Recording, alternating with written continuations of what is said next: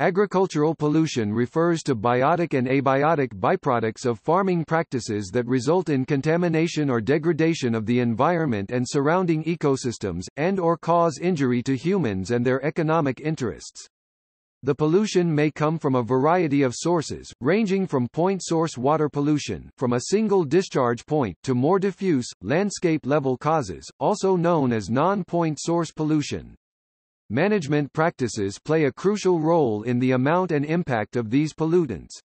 Management techniques range from animal management and housing to the spread of pesticides and fertilizers in global agricultural practices.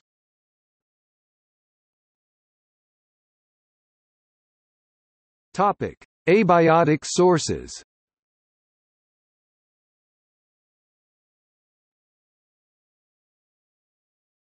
Topic: Pesticides. Pesticides and herbicides are applied to agricultural land to control pests that disrupt crop production. Soil contamination can occur when pesticides persist and accumulate in soils, which can alter microbial processes, increase plant uptake of the chemical, and are toxic to soil organisms. The extent to which the pesticides and herbicides persist depends on the compound's unique chemistry, which affects sorption dynamics and resulting fate and transport in the soil environment. Pesticides can also accumulate in animals that eat contaminated pests and soil organisms. In addition, pesticides can be more harmful to beneficial insects, such as pollinators, and to natural enemies of pests i.e. insects that prey on or parasitize pests than they are to the target pests themselves.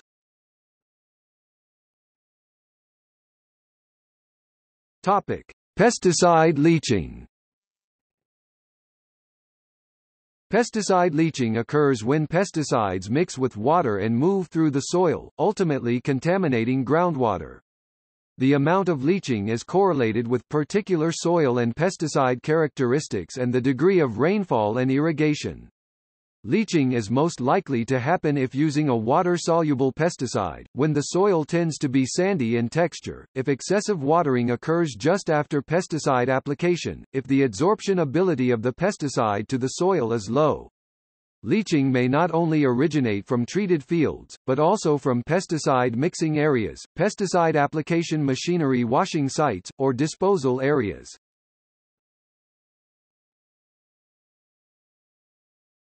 Topic: Fertilizers. Only a fraction of the nitrogen-based fertilizers is converted to produce and other plant matter. The remainder accumulates in the soil or lost as runoff. High application rates of nitrogen-containing fertilizers combined with the high water solubility of nitrate leads to increased runoff into surface water as well as leaching into groundwater, thereby causing groundwater pollution. The excessive use of nitrogen-containing fertilizers be they synthetic or natural is particularly damaging, as much of the nitrogen that is not taken up by plants is transformed into nitrate which is easily leached. Nitrate levels above 10 mg per liter 10 ppm in groundwater can cause blue baby syndrome, acquired methemoglobinemia, the nutrients, especially nitrates, in fertilizers can cause problems for natural habitats and for human health if they are washed off soil into watercourses or leached through soil into groundwater. Moreover, the abuse of fertilizers caused air pollution in the form of ammonia. Cadmium The concentration of cadmium in phosphorus-containing fertilizers varies considerably and can be problematic. For example, monoammonium phosphate fertilizer may have a cadmium content of as low as 0.14 mg per kilogram or as high as 50.9 mg per kilogram. This is because the phosphate rock used in their manufacture can contain as much as 188 mg per kilogram cadmium examples are deposits on Nauru and the Christmas Islands. Continuous use of high cadmium fertilizer can contaminate soil and plants. Limits to the cadmium content of phosphate fertilizers has been considered by the European Commission. Producers of phosphorus-containing fertilizers now select phosphate rock based on the cadmium content. Fluoride phosphate rocks contain high levels of fluoride. Consequently, the widespread use of phosphate fertilizers has increased soil fluoride concentrations. It has been found that food contamination from fertilizer is of little concern as plants accumulate little fluoride from the soil. Of greater concern is the possibility of fluoride toxicity to livestock that ingest contaminated soils. Also of possible concern are the effects of fluoride on soil microorganisms. Radioactive elements The radioactive content of the fertilizers varies considerably and depends both on their concentrations in the parent mineral and on the fertilizer production process. Uranium-238 concentrations range can range from 7 to 100 pci per gram in phosphate rock and from 1 to 67 pci per gram in phosphate fertilizers. Where high annual rates of phosphorus fertilizer are used, this can result in uranium-238 concentrations in soils and drainage waters that are several times greater than are normally present. However, the impact of these increases on the risk to human health from radionuclide contamination of foods is very small less than 0.05 millisieverts, y. Other metal steel industry wastes, which are recycled into fertilizers for their high levels of zinc essential to plant growth, can include the following toxic metals, lead, arsenic, cadmium, chromium, and nickel. The most common toxic elements in this type of fertilizer are mercury, lead, and arsenic.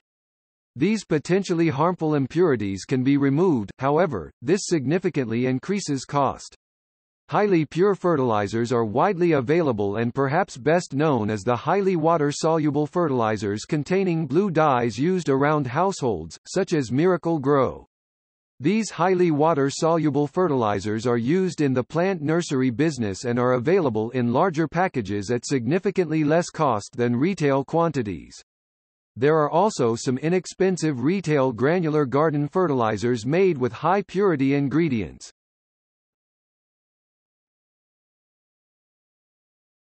Topic: Leaching, runoff, and eutrophication.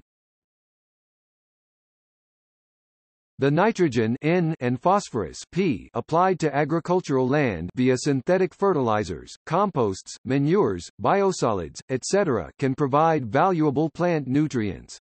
However, if not managed correctly, excess N and P can have negative environmental consequences. Excess N supplied by both synthetic fertilizers as highly soluble nitrate and organic sources such as manures whose organic N is mineralized to nitrate by soil microorganisms can lead to groundwater contamination of nitrate. Nitrate-contaminated drinking water can cause blue baby syndrome. Together with excess P from these same fertilizer sources, eutrophication can occur downstream due to excess nutrient supply, leading to anoxic areas called dead zones.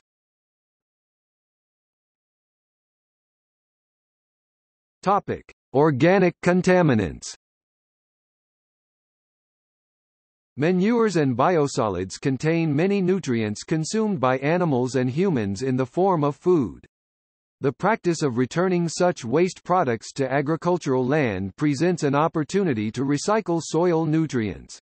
The challenge is that manures and biosolids contain not only nutrients such as carbon, nitrogen, and phosphorus, but they may also contain contaminants, including pharmaceuticals and personal care products PPCPs. There is a wide variety and vast quantity of PPCPs consumed by both humans and animals, and each has unique chemistry in terrestrial and aquatic environments. As such, not all have been assessed for their effects on soil, water, and air quality. The U.S. Environmental Protection Agency EPA has surveyed sewage sludge from wastewater treatment plants across the U.S. to assess levels of various PPCPs present.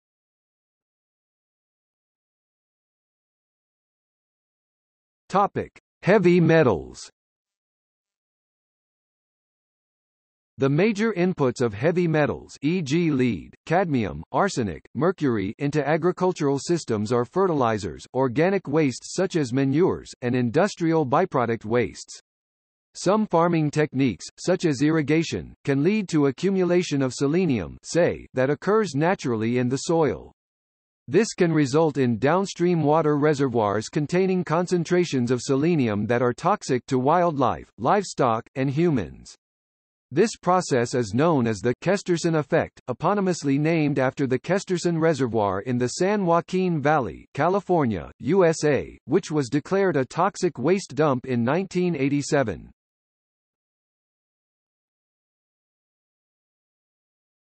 Topic: Land management.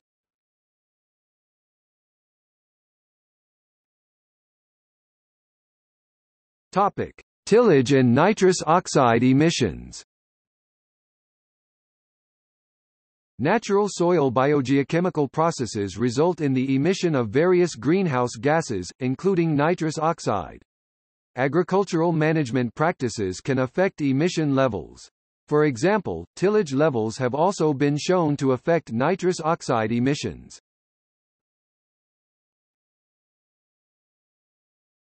Topic: Soil erosion and sedimentation. Agriculture contributes greatly to soil erosion and sediment deposition through intensive management or inefficient land cover. It is estimated that agricultural land degradation is leading to an irreversible decline in fertility on about 6 million hectares of fertile land each year. The accumulation of sediments i.e. sedimentation in runoff water affects water quality in various ways. Sedimentation can decrease the transport capacity of ditches, streams, rivers, and navigation channels. It can also limit the amount of light penetrating the water, which affects aquatic biota. The resulting turbidity from sedimentation can interfere with feeding habits of fishes, affecting population dynamics. Sedimentation also affects the transport and accumulation of pollutants, including phosphorus and various pesticides.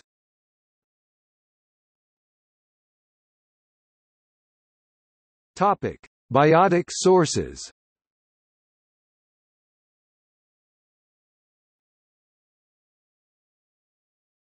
Topic: Greenhouse gases from fecal waste. The United Nations Food and Agriculture Organization FAO predicted that 18% of anthropogenic greenhouse gases come directly or indirectly from the world's livestock. This report also suggested that the emissions from livestock were greater than that of the transportation sector. While livestock do currently play a role in producing greenhouse gas emissions, the estimates have been argued to be a misrepresentation. While the FAO used a life cycle assessment of animal agriculture i.e. all aspects including emissions from growing crops for feed, transportation to slaughter, etc., they did not apply the same assessment for the transportation sector. A PNAS model showed that even if animals were completely removed from U.S. agriculture and diets, U.S. GHG emissions would be decreased by 2.6% only or 28% of agricultural GHG emissions. This is because of the need replace animal manures by fertilizers and to replace also other animal coproducts, and because livestock now use human inedible food and fiber processing byproducts. Moreover, people would suffer from a greater number of deficiencies in essential nutrients although they would get a greater excess of energy, possibly leading to greater obesity.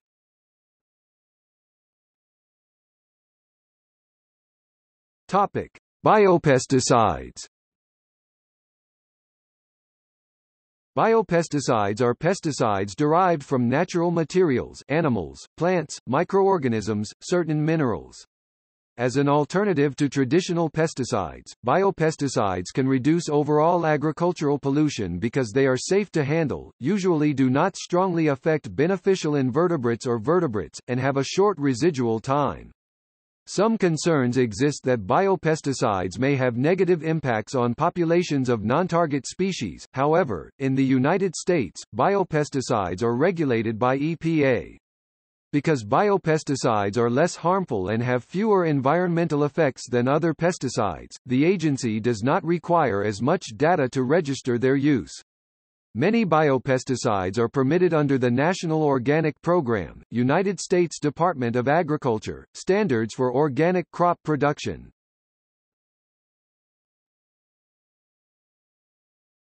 Topic: Introduced species.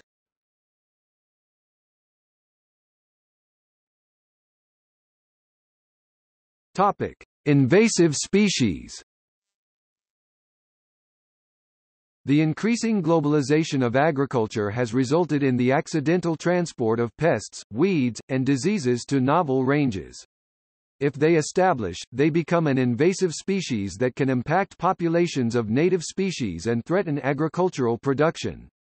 For example, the transport of bumblebees reared in Europe and shipped to the United States and or Canada for use as commercial pollinators has led to the introduction of an Old World parasite to the New World. This introduction may play a role in recent native bumblebee declines in North America. Agriculturally introduced species can also hybridize with native species resulting in a decline in genetic biodiversity and threaten agricultural production. Habitat disturbance ecology associated with farming practices themselves can also facilitate the establishment of these introduced organisms. Contaminated machinery, livestock and fodder, and contaminated crop or pasture seed can also lead to the spread of weeds. Quarantines see biosecurity are one way in which prevention of the spread of invasive species can be regulated at the policy level. A quarantine is a legal instrument that restricts the movement of infested material from areas where an invasive species is present to areas in which it is absent. The World Trade Organization has international regulations concerning the quarantine of pests and diseases under the Agreement on the Application of Sanitary and Phytosanitary Measures. Individual countries often have their own quarantine regulations. In the United States, for example, the United States Department of Agriculture, Animal and Plant Health Inspection Service USDA, APHIS administers domestic within the United States and foreign importations from outside the United States quarantines. These quarantines are enforced by inspectors at state borders and ports of entry.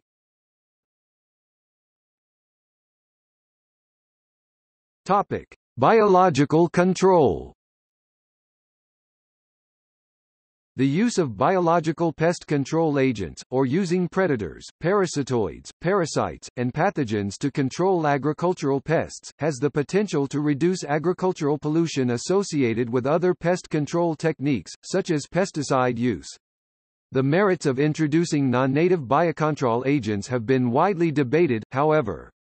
Once released, the introduction of a biocontrol agent can be irreversible. Potential ecological issues could include the dispersal from agricultural habitats into natural environments, and host switching or adapting to utilize a native species. In addition, predicting the interaction outcomes in complex ecosystems and potential ecological impacts prior to release can be difficult. One example of a biocontrol program that resulted in ecological damage occurred in North America, where a parasitoid of butterflies was introduced to control gypsy moth and browntail moth. This parasitoid is capable of utilizing many butterfly host species, and likely resulted in the decline and extirpation of several native silk moth species. International exploration for potential biocontrol agents is aided by agencies such as the European Biological Control Laboratory, the United States Department of Agriculture, Agricultural Research Service USDA, ARS, the Commonwealth Institute of Biological Control, and the International Organization for Biological Control of noxious plants and animals. In order to prevent agricultural pollution, quarantine and extensive research on the organism's potential efficacy and ecological impacts are required prior to introduction. If approved, attempts are made to colonize and disperse the biocontrol agent in appropriate agricultural settings. Continual evaluations on their efficacy are conducted. Topic: Genetically modified organisms GMO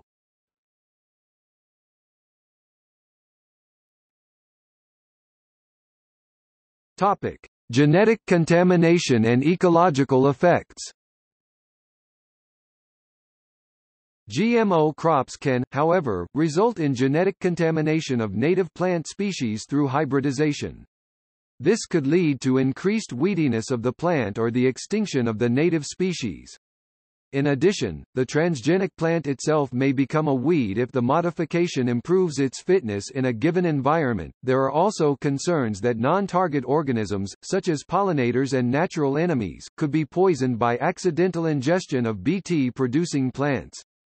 A recent study testing the effects of Bt corn pollen dusting nearby milkweed plants on larval feeding of the monarch butterfly found that the threat to populations of the monarch was low. The use of GMO crop plants engineered for herbicide resistance can also indirectly increase the amount of agricultural pollution associated with herbicide use. For example, the increased use of herbicide in herbicide-resistant corn fields in the mid-western United States is decreasing the amount of milkweeds available for monarch butterfly larvae. Regulation of the release of genetic modified organisms vary based on the type of organism and the country concerned.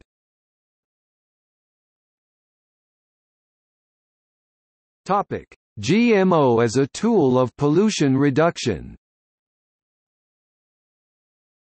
While there may be some concerns regarding the use of GM products, it may also be the solution to some of the existing animal agriculture pollution issues. One of the main sources of pollution, particularly vitamin and mineral drift in soils, comes from a lack of digestive efficiency in animals. By improving digestive efficiency, it is possible to minimize both the cost of animal production and the environmental damage. One successful example of this technology and its potential application is the EnviroPig. The EnviroPig is a genetically modified Yorkshire pig that expresses phytase in its saliva. Grains, such as corn and wheat, have phosphorus that is bound in a naturally indigestible form known as phytic acid. Phosphorus, an essential nutrient for pigs, is then added to the diet, since it cannot be broken down in the pig's digestive tract. As a result, nearly all of the phosphorus naturally found in the grain is wasted in the feces, and can contribute to elevated levels in the soil. Phytase is an enzyme that is able to break down the otherwise indigestible phytic acid, making it available to the pig. The ability of the EnviroPig to digest the phosphorus from the grains eliminates the waste of that natural phosphorus 20 to 60% reduction, while also eliminating the need to supplement the nutrient in feed.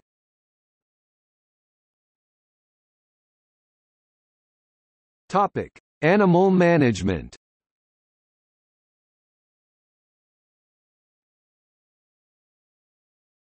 Topic: Manure management. One of the main contributors to air, soil and water pollution is animal waste. According to a 2005 report by the USDA, more than 335 million tons of dry matter Waste the waste after water is removed is produced annually on farms in the United States. Animal feeding operations produce about 100 times more manure than the amount of human sewage sludge processed in U.S. municipal waste water plants each year. Diffuse source pollution from agricultural fertilizers is more difficult to trace, monitor and control. High nitrate concentrations are found in groundwater and may reach 50 mg, liter, the EU directive limit. In ditches and river courses, nutrient pollution from fertilizers causes eutrophication. This is worse in winter, after autumn plowing has released a surge of nitrates, winter rainfall is heavier increasing runoff and leaching, and there is lower plant uptake. EPA suggests that one dairy farm with 2,500 cows produces as much waste as a city with around 411,000 residents. The U.S. National Research Council has identified odors as the most significant animal emission problem at the local level. Different animal systems have adopted several waste management procedures to deal with the large amount of waste produced annually. The advantages of manure treatment are a reduction in the amount of manure that needs to be transported and applied to crops, as well as reduced soil compaction. Nutrients are reduced as well, meaning that less cropland is needed for manure to be spread upon. Manure treatment can also reduce the risk of human health and biosecurity risks by reducing the amount of pathogens present in manure. Undiluted animal manure or slurry is 100 times more concentrated than domestic sewage, and can carry an intestinal parasite, Cryptosporidium, which is difficult to detect but can be passed to humans. Silage liquor from fermented wet grass is even stronger than slurry, with a low pH and very high biological oxygen demand. With a low pH, silage liquor can be highly corrosive, it can attack synthetic materials, causing damage to storage equipment, and leading to accidental spillage. All of these advantages can be optimized by using the right manure management system on the right farm based on the resources that are available.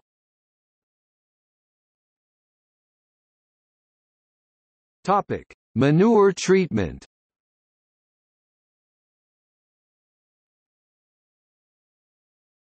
Topic: Composting.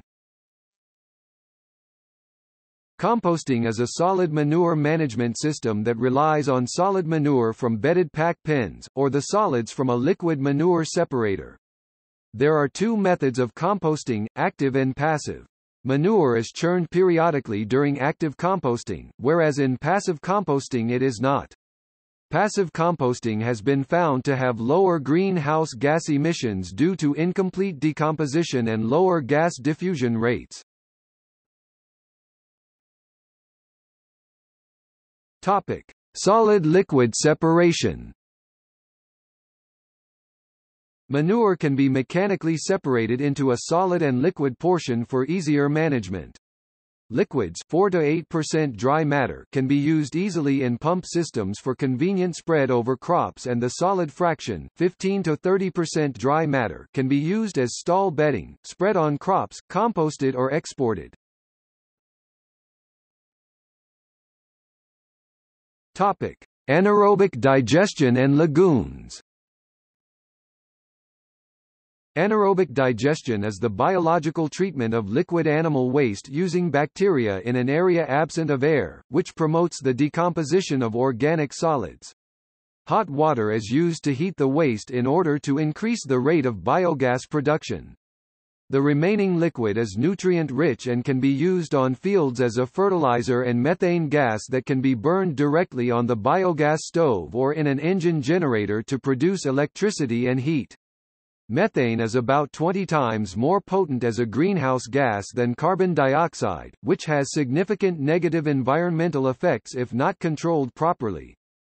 Anaerobic treatment of waste is the best method for controlling the odor associated with manure management. Biological treatment lagoons also use anaerobic digestion to break down solids, but at a much slower rate.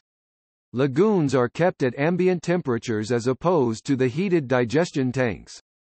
Lagoons require large land areas and high dilution volumes to work properly, so they do not work well in many climates in the northern United States. Lagoons also offer the benefit of reduced odor and biogas is made available for heat and electric power. Studies have demonstrated that GHG emissions are reduced using aerobic digestion systems. GHG emission reductions and credits can help compensate for the higher installation cost of cleaner aerobic technologies and facilitate producer adoption of environmentally superior technologies to replace current anaerobic lagoons.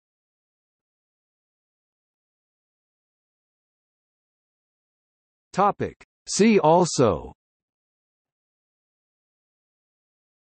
Agroecology Agricultural nutrient runoff Agricultural surface runoff Agricultural wastewater Environmental impact of agriculture Genetically modified food controversies Nutrient management Pest control Tillage